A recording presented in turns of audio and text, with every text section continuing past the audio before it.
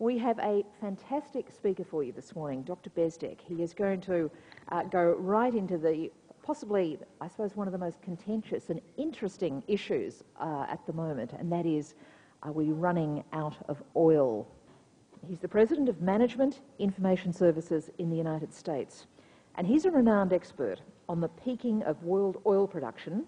He's co authored two reports for the US Department of Energy on the economic impacts and risk management of peak oil and liquid fuel mitigation options. So would you please give a very, very warm welcome this morning to Dr. Roger Bezdek. Thank you for that uh, introduction.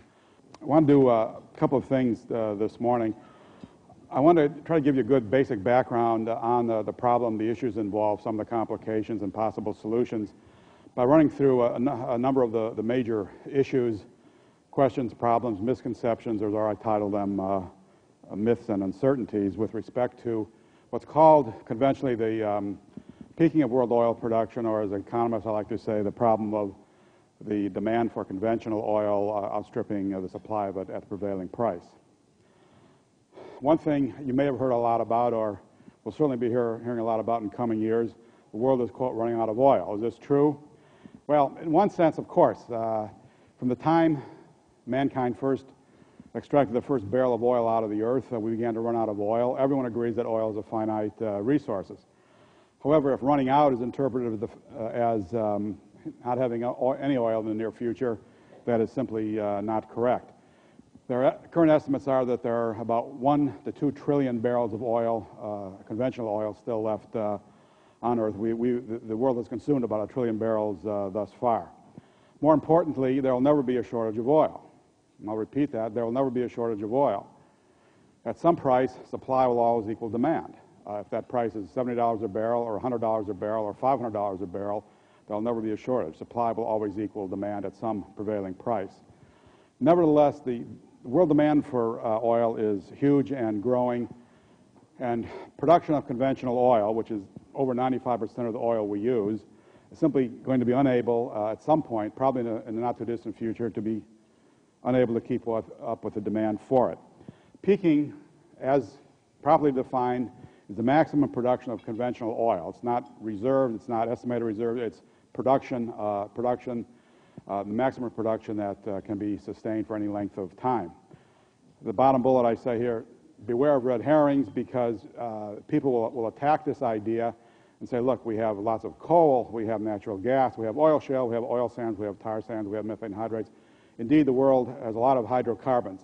None of them come, come close to being uh, as, as efficient or as useful or have the utility uh, of oil. There is simply no substitute for oil as we'll see it is indeed the lifeblood of the world. Now, why do we say that oil production will be peaking? It's actually quite simple. Upper left-hand slide here uh, illustrates the typical production of an average oil field, uh, like an, an elongated bell curve. Uh, oil is discovered, production increases uh, rapidly, it uh, tapers off, peaks, and then inexorably uh, declines. When um, and it, it, this, this is true of any oil field in the world, large or small, uh, in Australia, the U.S., Saudi Arabia, what have you. Oil is, is found in discrete uh, packages, and when it's gone, it's gone. Uh, if you aggregate hundreds or thousands of individual oil wells to a province, such as the United States, you get the profile here, which is an, uh, actual profile showing that the uh, United States oil production peaked around 1971. For nearly 100 years, the U.S. was the most prolific oil producing region in the world, the largest oil producer and the largest oil exporter. That all changed in 1971. You aggregate any number of oil peaking regions or countries, and you, you get a similar profile as for the, for the U.S. Uh, for the entire world. So what we see here is something like uh, what world oil production peaking will look like. We don't know exactly how, how it will appear or when it will appear. This is a, as good an approximation as we can determine. If you take one thing from my presentation this morning, retain this chart. What it shows, uh, the red bars are the world's discovery of oil. The black bar uh, is consumption, the black line. Simply shows that for the past 25 years, the world has been consuming a lot more oil than has been, than has been finding. For example, last year in 2006, the world oil oil discoveries throughout the world totaled something in the range of five or six billion barrels, and that's a lot of oil. Unfortunately, last year the world consumed about 28 billion barrels of oil, a ratio of five or six to one.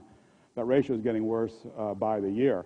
And I don't, I don't care what your opinion of how much oil reserves or the, the, the theory of peak oil, uh, this has been going on for 25 years and getting worse. Uh, uh, eventually, reality is going to bite.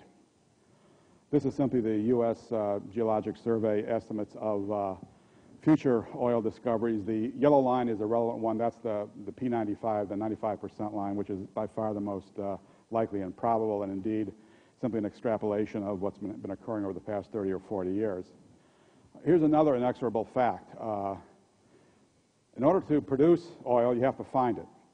Uh, once it's found, uh, it's produced uh, with a, with, a, time lag, and all oil provinces, all oil wells look like this. This is for Norway. Uh, oil, oil was found, it was produced, and the production always follows discovery by about, by about, 20 to 30 years.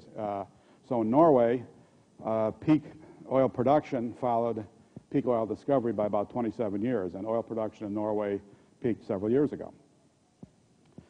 These are other peaking profiles of different oil provinces, Texas in the U.S., all of North America, the U.K., and Norway. You can see that, that there's no single uh, profile. It can be a false peak, a multiple peak, a, a plateau, a sharp decline. Look what happened in the United Kingdom. Uh, oil peaked about 1999 and has declined precipitously, very rapidly and dramatically since then, which has very dire implications for the UK, obviously. This is a Chinese view of uh, what's going to happen. Uh, they're predicting world oil peaking uh, about uh, 2012.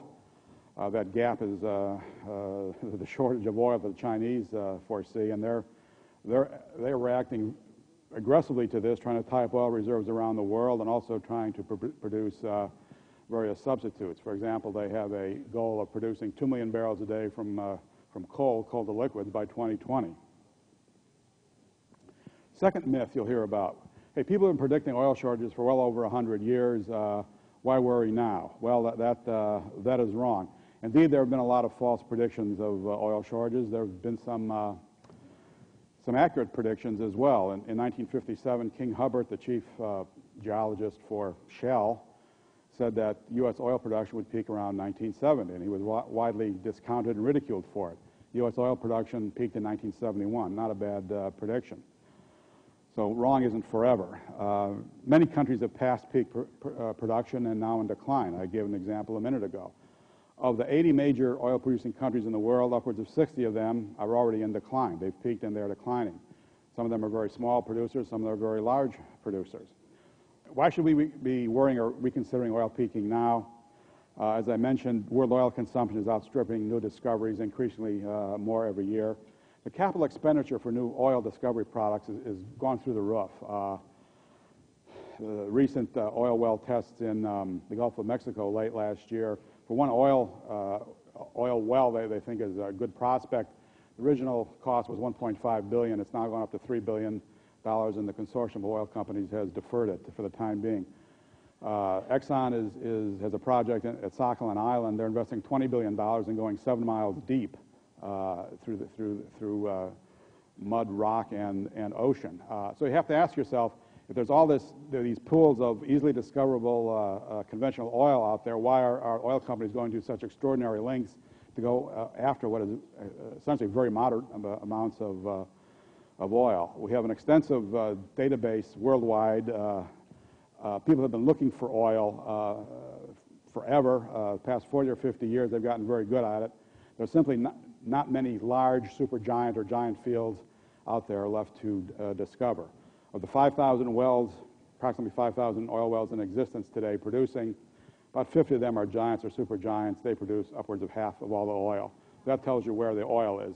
No one's found a new supergiant for about 40 years, it's not for lack of trying. And the supergiants are the easiest, uh, easiest to find. Finally, and, and most uh, importantly, um, many of, of, the top experts in the world are pessimistic, and, and most importantly, the economic consequences, as, as we'll see shortly, uh, of what we're facing here could be, could be huge. So it's a good time to uh, uh, look at the problem. These are simply a number of forecasts of, of experts when we may run into the crunch. Uh, the preponderance seems to be sooner rather than later, uh, probably prior to 2020, maybe as early as, this year or next year or 2010 or 2012. As we'll see, if oil peaks anytime within the next 15 or 20 years, we're in trouble because we've already run out of time. I, mentioned earlier that there's some, a lot of debate over how much oil is left out there.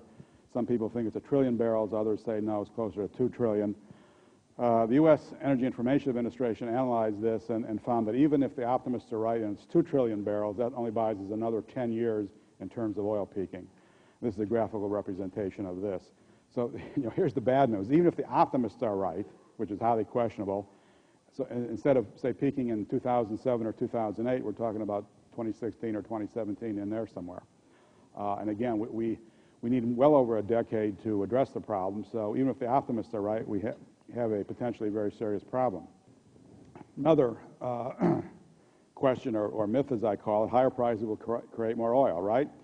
Not true. Uh, as, as, one famous geologist once said uh, recently, economists are better at finding oil on paper than geologists are finding it in the ground. Oil is found, as I mentioned, in discrete packages or, or reservoirs. Uh, you drill, you find it, you produce it, and it's gone. Period. That's it. Uh, as Colin Campbell, um, another uh, uh well-known geologist, uh, said, it's analogous to going into a pub and order a glass of beer. When you start out, the glass is full. When you finish it, it's empty, and the faster you drink, the faster it becomes empty. That's similar, similar to what, uh, what you're talking about in terms of oil productions. Whether the reservoirs are large or small or moderate, they start full, the faster you pump, the more efficient, the better you are at it, uh, the more rapidly it's drained. This is a geological fact that is, that is simply misunderstood by a lot of people, even, uh, even many who are uh, ostensibly um, knowledgeable. Uh, finally,